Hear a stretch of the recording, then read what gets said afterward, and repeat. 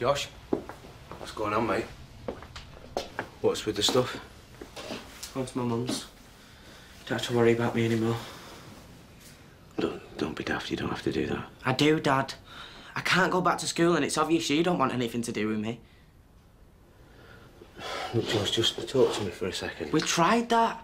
Fat lot of good it did us. All that crap you said about not treating people differently for their sexuality. You can't even look me in the eye when I tell you I kiss Finn. What would you expect me to do? Jump up and down with joy? No, but a bit of help and support would be nice.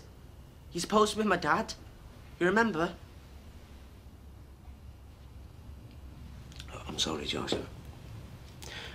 I should have been there more for you, but I just... I can't stand the thought of you with another man. Don't exactly fill me with joy either at the minute. It's not like I asked for this any more than you did, did I?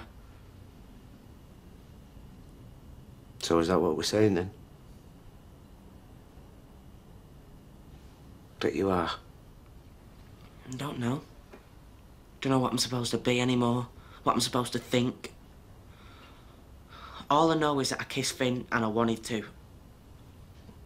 And I wanted him to kiss me back. So if that makes me gay, then I'll just have to deal with it, won't I? And if you or anyone else can't, I'll just have to do it on my own. You don't need to go anywhere.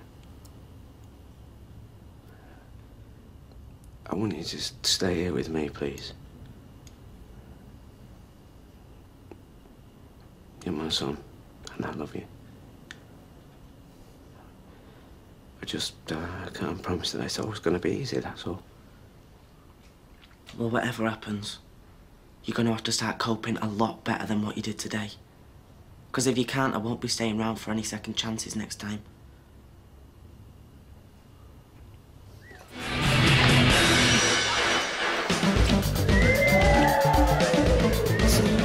Nothing. Look, this was your idea.